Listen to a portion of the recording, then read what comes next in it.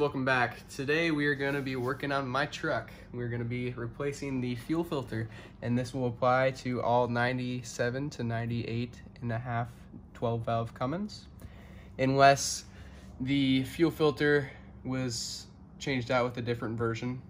Uh, sometimes they'll go to the uh, first years of the second gen um, because that was just a screw on fuel filter Whereas the 97 to 98 and a half went to a cartridge that you can just put in. So uh, we'll get started on that. So first thing, we're gonna wanna unplug the uh, fuel sensor right here, water fuel sensor. Just plug, unplug that right there. And then you could just unplug this also, just to get that out of your way.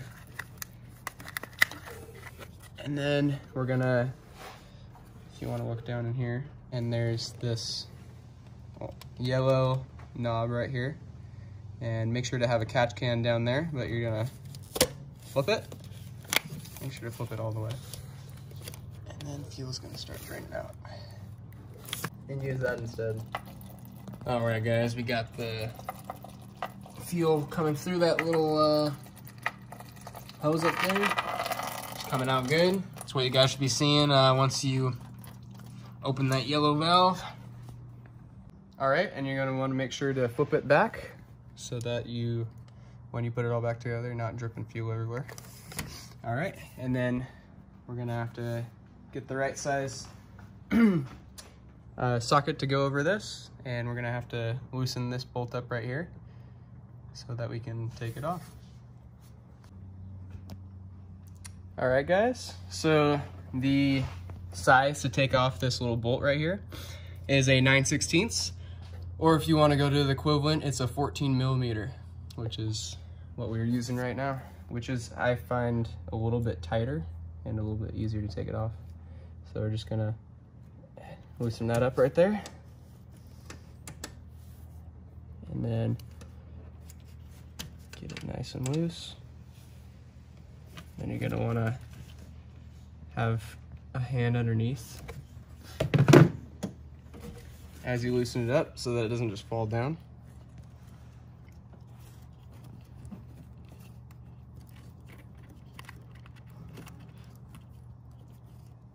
All right, just unscrew it and it'll just pop on down here. And this is the first time changing out this filter. Um, so we'll see how bad it is. Hopefully it's not too, too bad. But uh, we're gonna have to snake it out uh, around here. Looks like the best way is gonna be right, right in here. take it out. Just like that. Perfect. Just like that. And there's the canister. So I'll explain what these are right here. So this is the uh, overflow right there. That that's where the fuel will come out when you're taking that out. And here's the fuel water sensor right here that we unplugged. And uh, inside here, moment of truth. Let's see how bad it is. Oh, that is nasty. Oh. yeah, that's gross. Yeah, that's pretty bad. That's really bad. So it is good that we are we are replacing that because who knows when the last time was that it was done.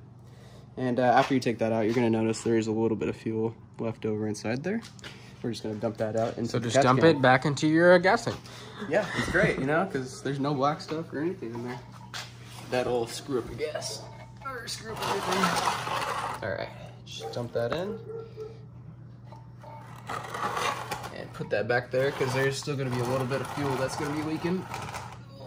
Okay. And onto the actual filter change. All right guys, so the inside of this is gonna be dirty too. Make sure to clean this out before putting the new filter in. And then you can give it a little clean around the edge just to make it look a little bit better because it's gonna be covered in uh, crap. But uh, we'll get get on to the next procedure. All right, so the next step here, you wanna get up and underneath here, you can get a pick or a small flat tip screwdriver, get up underneath there, make sure not to hurt the mating surface at all. And then just ride that back out and take it off. And uh, the old one goes away and on with the new one. Which, let grab that. Is right here. You get a little bit of clean diesel fuel, which you don't got have any. Just, right in here. Yeah, a little bit yeah, right in there. It's clean. So you just want to kind of rub it on the gasket. Better seating capabilities that way. And then just ride it up into the groove right there.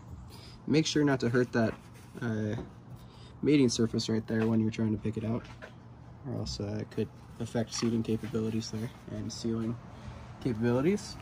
All right, next on to this. We're gonna be putting a uh, new gasket right here and uh, then go on to the bigger one, which get a little bit more fuel. Put that around there. That's clean right there. So then get a little bit more and then put it on the outside. Right there. Clean up the top. And then we're just gonna be sliding this back in. And then it'll just fit right into place right there. Easy peasy. And now on to putting it back in.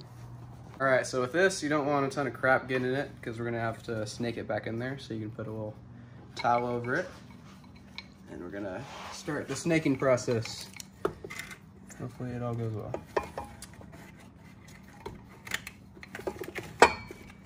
As of right now, doesn't want to go anywhere, so. okay. Get that right there.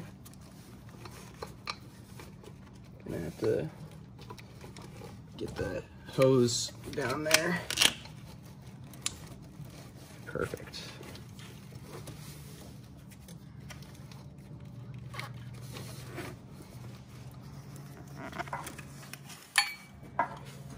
Put your arm down underneath here so you can grab that and Put it in through there. This is a fun little process, but you'll get used to it after your first time doing it.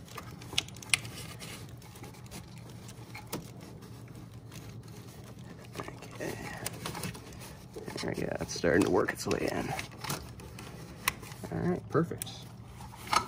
And now it's in place. We can uh, take the towel off.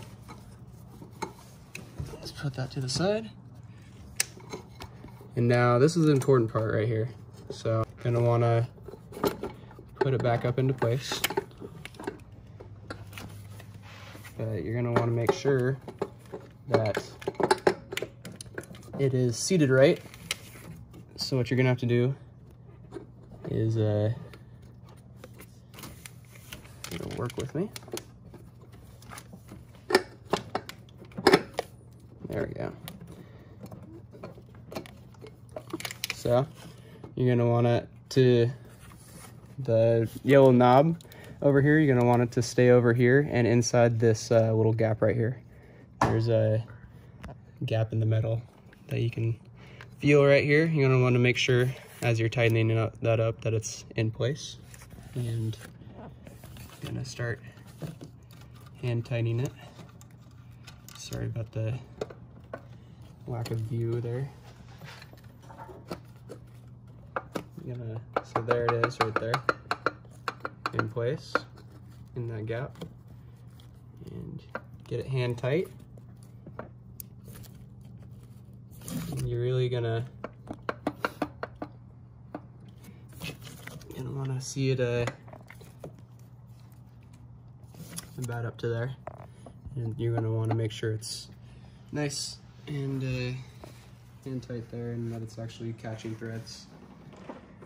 Now we're gonna tighten it down. All right, and when sealing this up, it is uh, just sealing on the gasket there. So uh, the specs is 10 foot-pounds. You can use what I've used in a previous video, in our uh, installing the um, tow mirrors. You can use that pinky trick to uh, get it to the place where it's right at 10 foot pounds. And as much as your pinky can pull is about 10 foot pounds. And that's good to go. All right, on to the priming. Next, we're gonna be working on priming the system here. We're gonna have to loosen this top nut. This is on top of the fuel filter housing. Uh, it's a little 10 millimeter, pretty easy to get to and loosen up.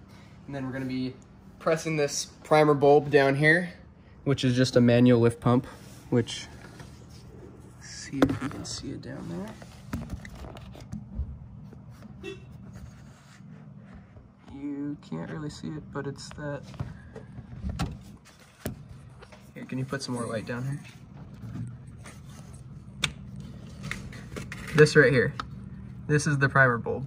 You're gonna have to press this about 50 to 100 times or until there's fuel that is coming through the top of the bolt. And that's when you know the system is primed. We'll get onto priming the actual system now.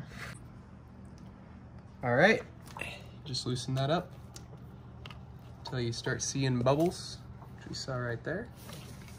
You can see that there's already air coming out of the system. And then we're gonna be pressing the bulb down here.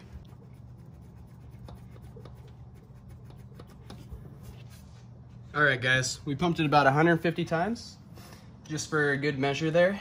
Now we're gonna be closing this up. Should be full fuel in the fuel filter housing. And this thing is only another 10 foot-pounds.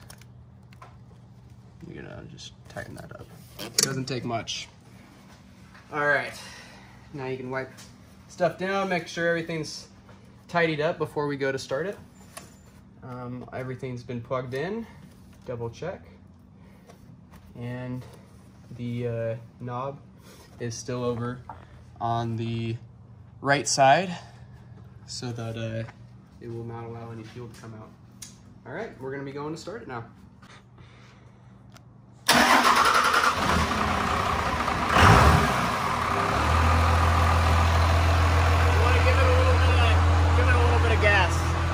Keep the RPM at about 18 or about 800 RPM.